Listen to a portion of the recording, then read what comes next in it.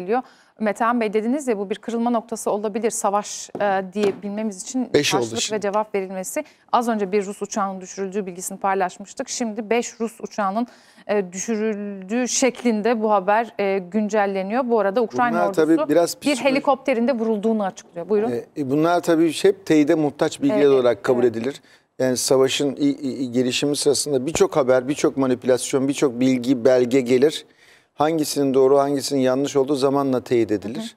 E, şimdi Uk- doğru Rusya'nın olduğundan hareketle diyelim ki doğru. doğru olduğundan hareketle Rusya'yı bu saatten sonra kimse Ukrayna'nın tamamı için tutamaz yani. 5 Rus uçağı ve bir helikopterin faturasını benim bildiğim Rusya, değil mi hocam? Fena ödetiyor. Muhtemelen beklediği de zaten böyle bir şeydi. Beklediği de bravo süper. Beklediği de böyle bir şeydi. Tam istediği ol, e, a, yani arzu ettiği şartlar. E, Peki oluştu. Ukrayna Tüm bunu tek başına mı yaptı? Artık şey Destek oldu mu acaba Ukrayna'ya? Luhansk Donetsk meselesi kapandı, Kapandı. onlar için. Mesele bundan sonra Ukrayna mı değil mi meselesi. Yani bu bu kadarını ben açıkçası tamamının olacağını tahmin etmiyordum ama e, Putin'in kafasında çok daha büyük bir oyun var şu an. Çok daha büyük. Poyraz hocamıza da